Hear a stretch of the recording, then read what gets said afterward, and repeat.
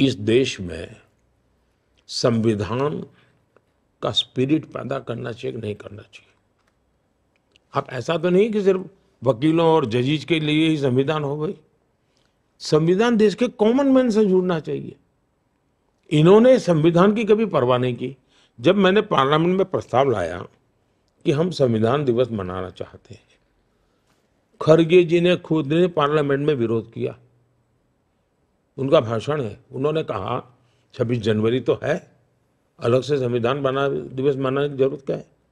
मैंने कहा, भाई, ये ये ग्रंथ जो है, वो हमारी आने वाली पीढ़ियों को उसके प्रति एक श्रद्धा का भाव पैदा करना चाहिए।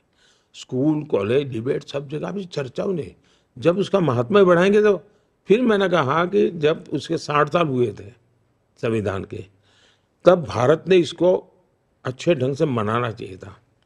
पचास साल हुए तब मनाना चाहिए था। जब साठ साल हुए तो मैंने बड़े शान से ये संविधान दिवस मनाया और हाथी के ऊपर, अंबाड़ी में मैंने संविधान रखा और मैं नीचे पैदल चलता था मुख्यमंत्री और मैंने सुरेंद्र नगर में एक बहुत बड़ा उसकी यात्रा निकाली। लोगों की संविधान के प्रति श्रद्धा बने। इनको संविधान के नाम पर झूठ बोलने में लगातार कोई बताएँ हमारे मैनिफेस्टो में कहीं लिखा है क्या? हमारे भाषण में कहीं निकला है क्या? कोई किसी कार्यकर्ता ने किसी संदर्भ में कहीं बोल दिया, उसी को उछाल करके पूरी तरह हमारी पार्टी को, हमारे हमारे वर्जन को मानने को तैयार नहीं है।